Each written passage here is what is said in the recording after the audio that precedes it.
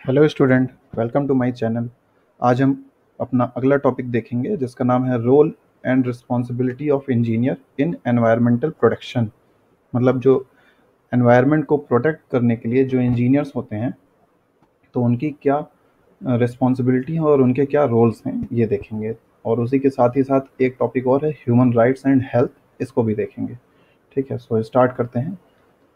क्या क्या रिस्पॉन्सिबिलिटी है एनवायरमेंटल इंजीनियर की तो पहले इसका एक इंट्रोडक्शन देख लेते हैं कि environmental engineers help identify and develop solution to environmental problem in order to protect the population from harm और इन्हेंस पीपल्स क्वालिटी लाइफ मतलब जो एनवायरमेंटल इंजीनियर हैं, वो हेल्प करते हैं कि आइडेंटिफाई करना है मतलब समस्या को पहले ढूंढना है निश्चित करना है और फिर उसका सॉल्यूशन डेवलप करना है। ठीक है? जो भी एनवायरमेंटल की प्रॉब्लम है तो उनको आप आइडेंटिफाई करो और उनके सॉल्यूशन को डेवलप करो। ये किसका काम है? एनवायरमेंटल इंजीनियर का। जिससे कि पॉपुलेशन जो है, जो आम इंसान है, उसकी क्वालिटी ऑफ़ लाइफ इम्प्रूव हो सके।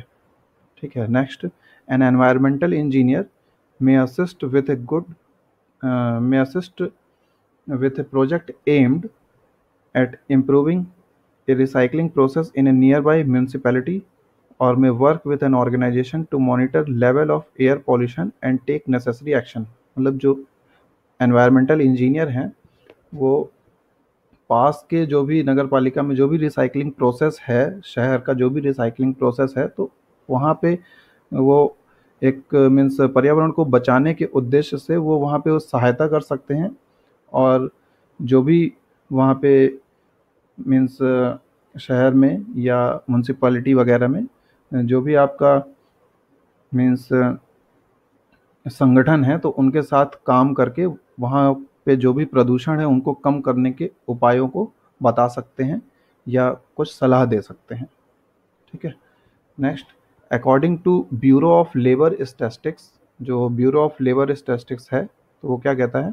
कि environmental engineer consider the earth natural resources while applying physical biological and chemical principle to address local regional and global environmental issues मतलब जो बीएलएस है तो वो क्या कहता है कि एनवायरमेंटल इंजीनियर जो होते हैं तो अर्थ के नेचुरल रिसोर्सेज को कंसीडर करते हुए, जब भी वो अपनी मतलब भौतिक या बायोलॉजिकल या केमिकल जो भी प्रिंसिपल को अपनाएँगे किसी भी चीज़ के प्रोडक्शन में तो अर्थ के नेचुरल रिसोर्स को ध्यान में रखते हुए वहाँ के जो भी लोकल इशू हैं एनवायरमेंटल इशूज़ हैं और रीजनल इशूज़ हैं या ग्लोबल एनवायरमेंटल इशूज़ हैं तो उन सबको ध्यान में रखते हुए वो क्या करेंगे? इन सभी प्रोसेस को अपनाएँगे। मतलब जो भी प्रोडक्शन प्रोसेस है तो उसको जब वो फॉलो करेंगे, उन प्रिंसिपल को अप्लाई करेंगे तो वहाँ के इशूज़ को ध्यान में रखते हुए अप्लाई करेंगे। ये कहना है किसका? बीएलएस का।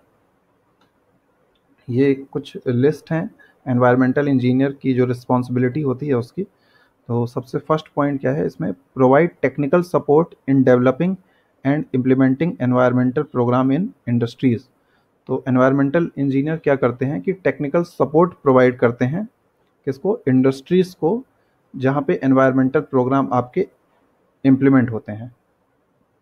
Next generate environmental reports as per federal and state regulation वो क्या करते हैं कि एक एनवायरमेंटल रिपोर्ट भी जनरेट करते हैं, जैसा कि राज्य या संघ जो भी मीन्स नियम दिए हुए हैं, उसके अकॉर्डिंग उनके अनुसार मतलब उनके नियमों के अनुसार। And stay updated with air water and waste regulation as defined by state and federal laws उन्हें अपडेट रहना चाहिए, जो भी एयर वाटर और वेस्ट रेगुलेशन राज्य ने डिफाइन किए हैं। परिभाषित किए हैं। Review and recommend improvement to existing environmental programs to reduce environmental damages वो क्या करेंगे कि रिव्यू करेंगे और इम्प्रूव करेंगे ठीक है? जो भी रिकमेंडेशन है उनको देंगे किसको देंगे? आ, आपके जो भी एनवायरनमेंट प्रोग्राम हैं जहाँ पे भी इंडस्ट्री में भी या कहीं पे भी तो उनको मीन्स देखेंगे कि क्या क्या एनवायरमेंटल डैमेज हो रहा है उस प्रोग्राम से तो उनको रिव्यू करेंगे और रिकमेंड भी कर सकते हैं, कुछ अगर इम्प्रूवमेंट है तो। Okay next oversee waste management and pollution control activities जो भी वेस्ट मैनेजमेंट है मीन्स अपशिष्ट प्रबंधन और पॉल्यूशन कंट्रोल एक्टिविटी की वो निगरानी करते रहेंगे। ठीक है, ये इनका काम है एनवायरमेंटल इंजीनियर्स का। Next perform regular site survey for environmental compliances जो भी मीन्स आपका साइट है तो उनका कंटिन्यू सर्वेक्षण करते रहना भी इनका काम है। Next assess potential environmental risk and develop mitigation plan means संभावित पर्यावरणीय जोखिमों का आकलन करें और शमन योजनाएँ विकसित करें। शमन योजनाएँ मतलब जो भी छोटी योजनाएँ हैं तो उनको विकसित करें, जिससे कि एनवायरमेंटल इशूज़ जो हैं तो वो कम हो सकें। ठीक है? Next provide assistance and job training to team member as needed assist भी कर सकते हैं अपने साथ वालों को, अपने टीम मेंबर्स को और उनको ट्रेनिंग भी दे सकते हैं।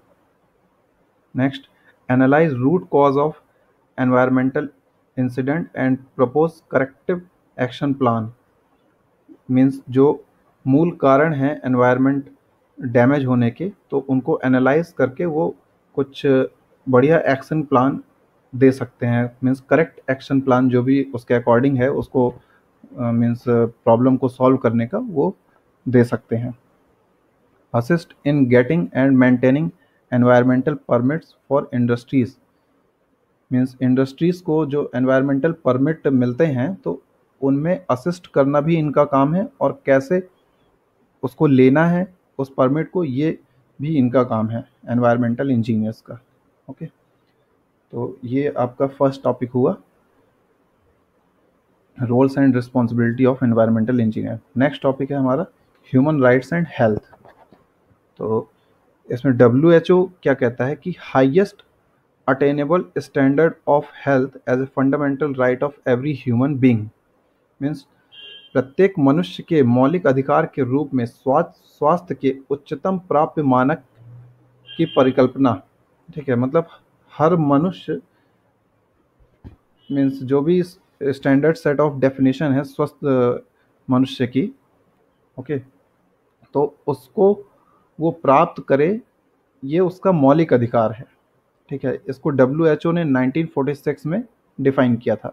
एक्चुअली में डब्ल्यू एच ओ आया रूल में 1948 से बट उससे पहले ही ये चीज़ आ गई हमारी, है ना?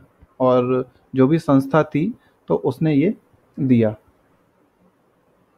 इसमें क्या है कि understanding health as a human right creates a legal obligation on state to ensure access to timely, acceptable and affordable health care of appropriate quality means इसमें यह कह रहा है कि जो हेल्थ राइट right है हमारा तो स्टेट्स के ऊपर एक लीगल ऑब्लिगेशन बनता है कि वो क्या इंश्योर करे कि टाइमली मतलब समय पर एक्सेप्टेबल मतलब जिसको एक्सेप्ट किया जा सके और अफोर्डेबल जिसको अफोर्ड किया जा सके। तो ऐसी हेल्थ केयर सिस्टम स्टेट्स को प्रोवाइड करना चाहिए, ठीक है? और साथ ही साथ उसकी क्वालिटी भी अच्छी होनी चाहिए, ठीक है? तो ये हेल्थ केयर फैसिलिटी क्या क्या है? जैसे कि सेफ़ एंड पोर्टेबल वाटर ठीक है? स्वच्छ पानी, जो पीने योग्य पानी है वो उपलब्ध कराना सैनिटेशन मतलब स्वच्छता food housing health health related information and education and gender equality तो ये सारी चीज़ें प्रोवाइड करना एक स्टेट की ज़िम्मेदारी है है ना? उसका कर्तव्य है, कानूनी दायित्व तो है लीगल ऑब्लिगेशन है। ठीक है? A state obligation to support the right to health means स्वास्थ्य के अधिकार का समर्थन करना, ये राज्यों का कानूनी दायित्व तो है including through the allocation of maximum available resources means जो भी अवेलेबल रिसोर्सेज हैं, उनको जन जन तक पहुंचाना ये राज्यों का दायित्व है। ठीक है? To progressively realise this goal is reviewed through various international human rights mechanism अब ये चीज़ें अचीव हो रही हैं कि नहीं, इसको कौन चेक करता है? इंटरनेशनल ह्यूमन राइट्स मैकेनिज्म जो ह्यूमन राइट कमीशन होता है इंटरनेशनल बेसिस पे तो वो उसको चेक करता है। जैसे कि यूनिवर्सल पीरियोडिक रिव्यू और committee of economic social and cultural rights ये कुछ ऑर्गेनाइजेशन है जो चेक करती हैं कि जन जन तक ये स्वास्थ्य सुविधाएँ पहुँच रही हैं कि नहीं। Okay next a right based approach to health requires that health policy and programs must prioritize the needs of those furthest behind, first towards greater equity. Means, स्वास्थ्य के लिए एक अधिकार आधारित दृष्टिकोण के लिए आवश्यक है कि स्वास्थ्य नीति और कार्यक्रमों को अधिक से अधिक इक्विटी की दिशा में सबसे पीछे रहने वालों की ज़रूरतों को प्राथमिकता देनी चाहिए। मतलब जो स्वास्थ्य की हमारी आवश्यकता है तो उनको प्राथमिकता देना चाहिए, जो कि अभी बहुत पीछे हैं। और 2030 का जो एजेंडा था, sustainable development and universal health coverage में तो उसमें यही चीज़ कही गई थी कि स्वास्थ्य को हमें प्राथमिकता देनी पड़ेगी। Okay? Next the right to health must be enjoyed without discrimination on the grounds of race age ethnicity और एनी अदर स्टेटस जो राइट टू हेल्थ है तो उसमें किसी भी तरह का डिस्क्रिमिनेशन नहीं होना चाहिए। ठीक है? किस आधार पर? या तो उसकी जाति या आयु और सेक्स इन सब के आधार पे कोई भी डिस्क्रिमिनेशन नहीं होना चाहिए। वो सब में बराबर होना चाहिए। जो राइट टू हेल्थ है तो वो सभी का कानूनी देखा जाए तो अधिकार है कि आप स्वास्थ्य सुविधाओं को ले सकते हो। ये जाति आधारित नहीं होना चाहिए, ये कहने का मतलब है। या आयु कैसा भी मतलब डिस्क्रिमिनेशन नहीं होना चाहिए यहाँ पे। तो कुछ ये लीगल राइट्स हैं जो कि विभिन्न आपके देशों में दिए गए हैं और अलग अलग आर्टिकल्स हैं ये तो इनको आप देख सकते हो। जैसे कि इसमें से दो इंपॉर्टेंट हैं। फ़र्स्ट ये universal declaration of human rights and second international covenant on economic and social rights तो इसमें जो international covenant on economic and social rights है तो ये क्या कहता है कि the state parties to the present covenant recognise the right of everyone to the enjoyment of highest attainable standard of physical and mental health means ये I C E S C R का अनुच्छेद 12 ये बताता है कि राज्य ये सुनिश्चित करें कि शारीरिक और मानसिक स्वास्थ्य हर शारीरिक शारीरिक और मानसिक स्वास्थ्य को प्राप्त करने के लिए हर व्यक्ति का अधिकार सुनिश्चित करें मतलब उनके अधिकार सुनिश्चित करें कि वो उस गुणवत्ता को प्राप्त कर लें, है ना? और किसी भी तरह का मीन्स वहाँ पे डिस्क्रिमिनेशन नहीं होना चाहिए कि कोई चूक गया कि वो इस जाति का है तो उसको इलाज नहीं मिलेगा और वहाँ पे मीन्स स्वास्थ्य की सुविधाएँ उसको नहीं दी जाएँगी इन पर्टिकुलर रेशियो को तो ऐसा नहीं हो सकता। ये आई जो है तो इसका अनुच्छेद बारह ये बोलता है कि राज्य इस चीज़ों को सर्वोच्च प्राथमिकता दें और सभी के अधिकारों को सुनिश्चित करें कि जन जन तक ये सुविधाएँ पहुँची हुई हैं। ठीक है? जो इसेंशियल एलिमेंट हैं राइट टू हेल्थ के तो उनमें से सबसे पहला अवेलेबिलिटी और असेसिबिलिटी एक्सेप्टेबिलिटी और क्वालिटी ये चार चीज़ें हैं तो इनको एक एक करके देखते हैं। सबसे पहला availability means public health and health care facilities goods services and program are available in sufficient quantity and includes ये चार चीज़ें इंक्लूड करता है, जैसे कि public health and health care facility मतलब सार्वजनिक स्वास्थ्य और स्वास्थ्य देखभाल सुविधाएँ, सामान, सेवाएँ और कार्यक्रम पर्याप्त मात्रा में उपलब्ध होने चाहिए। जैसे कि the underlying determinant of health, including drinking water and sanitation facility मतलब पेयजल और स्वच्छ स्वच्छता सुविधाओं सहित स्वास्थ्य के अंतर्निहित निर्धारक मतलब ये सब चीज़ें अवेलेबल होनी चाहिए। हॉस्पिटल, क्लिनिक और अदर हेल्थ रिलेटेड बिल्डिंग, ये भी अवेलेबल होनी चाहिए। Trained medical and professional personal, प्रशिक्षित चिकित्सक और आपके प्रोफेशनल जो कर्मी हैं, वो अवेलेबल होना चाहिए। एसेंशियल ड्रग्स मतलब आवश्यक दवाएँ भी उपलब्ध होनी चाहिए। ठीक है, राइट टू हेल्थ में ये सभी आता है। मतलब अगर अवेलेबल नहीं है तो राज्यों का दायित्व तो बनता है उसको उपलब्ध कराना। Next, accessibility. नॉन डिस्क्रिमिनेशन मतलब यहाँ वही चीज़ है यहाँ पे। डिस्क्रिमिनेशन नहीं होना चाहिए किसी भी तरह से है ना ना बर्थ से ना फ़िज़िकल मेंटल डिसेबिलिटी अगर कोई मेंटल डिसेबल है तो भी उस उस तक हर सुविधाएँ पहुंचनी चाहिए और पॉलिटिकल सोशल और सेक्सुअल ओरिएंटेशन इन सबसे किसी भी तरह का डिस्क्रिमिनेशन नहीं होना चाहिए। जो भी रिसोर्सेज हैं वो सभी तक पहुँचने चाहिए समान आधार पे।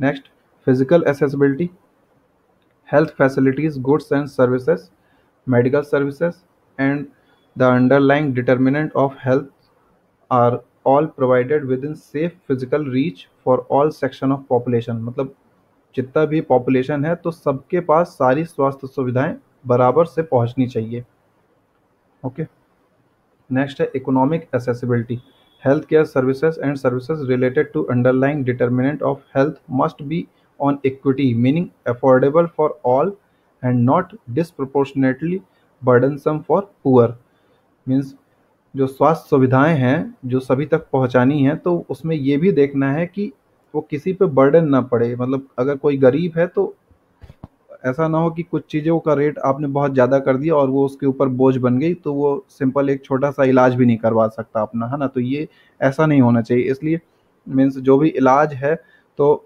वो सभी तक पहुँचाने के लिए उसका रेट कम रखा जाता है है ना? अब ये नहीं कि बुखार आ गया तो उसका मीन्स अब आप चेकअप कराने गए, जो भी ब्लड चेकअप कराने गए या डॉक्टर के पास गए या कैसा भी आपने इलाज करवाया तो उनका जो दाम रहेगा, जो भी उसका प्राइसेस रहेंगे फेयर रहेंगे तो वो कम रहेंगे और रहना चाहिए, ठीक है? ये स्टेट का लीगल ऑब्लिगेशन है okay next information accessibility means जैसी भी इंफॉर्मेशन अवेलेबल है हेल्थ से रिलेटेड तो वो सभी के पास होनी चाहिए। कोई भी डेटा छुपाया नहीं जाना चाहिए। ओके नेक्स्ट एक्सेप्टेबिलिटी एक्सेप्टेबिलिटी मतलब कि जो भी हेल्थ केयर फैसिलिटी है तो वो ऐसी होनी चाहिए कि हर आदमी उसको एक्सेप्ट कर ले।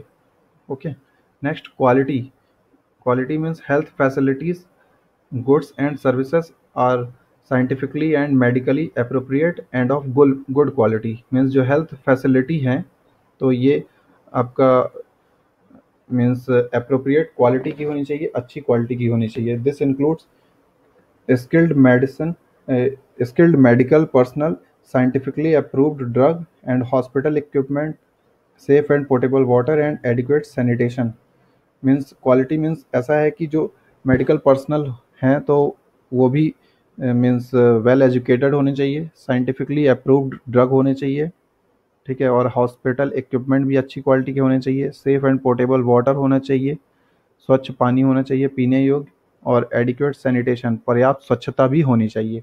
तो ये सारी चीज़ें देखना राज्यों का काम है। ओके? और ये, और मतलब राज्यों का ये काम है, और सभी तक ये पहुँचे, और अगर नहीं पहुँच पा रही हैं तो हर आदमी का अधिकार है कि इन सभी सुविधाओं को वो ले। ठीक है? तो ये था आपका राइट टू हेल्थ के बारे में और फ़र्स्ट टॉपिक हमने देख ही लिया कि रोल एंड रिस्पॉन्सिबिलिटी क्या है एनवायरमेंटल इंजीनियर की। Okay thank you